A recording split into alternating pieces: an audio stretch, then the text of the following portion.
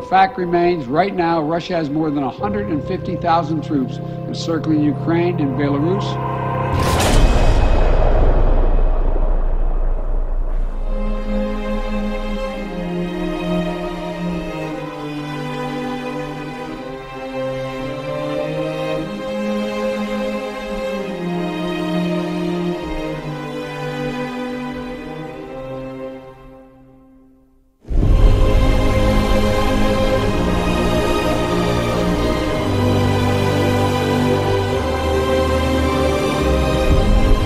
Video that's out that's a compilation of me saying the N word. But I'll fuck your wife, Custer.